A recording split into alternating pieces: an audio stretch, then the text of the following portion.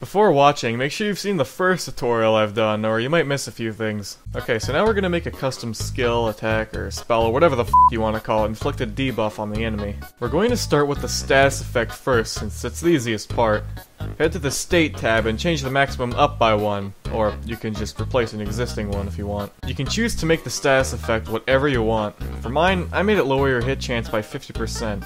But for yours, make it do whatever. The fun of RPG Maker is experimenting with what you can make. Before we head on to making the skill animation, we're going to import a few resources. Get some sound effects and download the animation template I put in the description. You can modify it like so. When you're done, save it and import the animation into animations and the sound into SE. Now we're gonna- uh.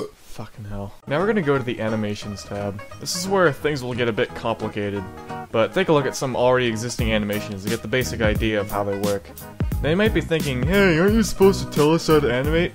And to that I say,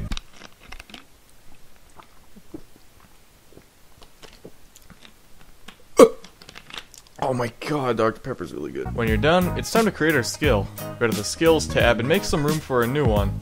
Copy the very first skill at the top, Attack, and paste it down at the bottom. We're going to use this as a base. Take a gander at all these settings and modify them to whatever you want. Again, the fun of RPG Maker is experimenting. Make something really stupid if you want. But one thing to pay special snowflake attention to is the skill type. Make sure it's the same skill type your character's class uses, otherwise it won't show up. Oh yeah, speaking of which, make sure you add it to the class's skill list so we can have it at level 1. And, well, now you're done. Time to see how it looks. Cool, it works. Well, that concludes this tutorial. If you have any specific questions, feel free to ask in the comments.